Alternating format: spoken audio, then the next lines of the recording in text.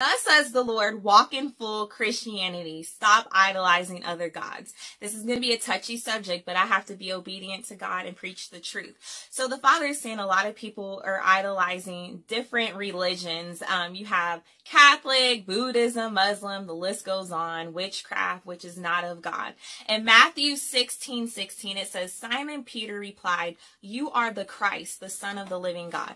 God was Jewish and he walked in Christianity. There's no it's buts. You see a lot of private schools that are Catholic and churches. And what you don't know is behind closed doors, a lot of these Catholic churches, these priests and stuff that call themselves saved are raping and molesting the kids behind closed doors. Then you have these people dressed up as nuns, which are doing witchcraft. They pray with beads. They pray with statues and they read out of a book that's not even the Bible. That is a no-no. That is not of God. You have to go by the person's fruits that they bear because a lot of these churches are low-key cults. And if you're not careful and you're not letting the Holy Spirit guide you, you will be deceived. So I pray that the Father will give you clarity, wisdom, and knowledge to be able to tell who are the wolves in sheep clothing because there's going to be a lot of false prophets and leaders. We are in the last days. This is no joke. That's why it is so important to get in this word because the devil comes to kill, steal, and destroy.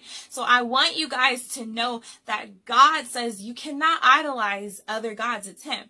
Also with Catholics, they pray to Mary. if you're praying to Mary, you're praying to a demon, that's demonic. Mary can't hear you. Mary was just a woman that conceived Jesus. You can only pray to God or either the devil. And so that's a no-no as well. You can't pray to Mary. Only God hears your prayers. The devil can hear your prayers too if you worship the devil. But God is the one that you only idolize and worship.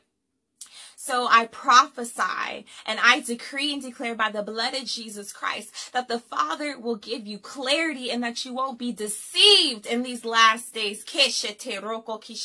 In Psalm 51, the Father says, Come to me with a broken, repentant heart. I will cleanse you white as snow and place new garments on you. So I pray that you guys repent from idolizing other gods and go to the Father and say, I surrender it all to you. I give my life to Christ and may you be cleansed with the blood of Jesus.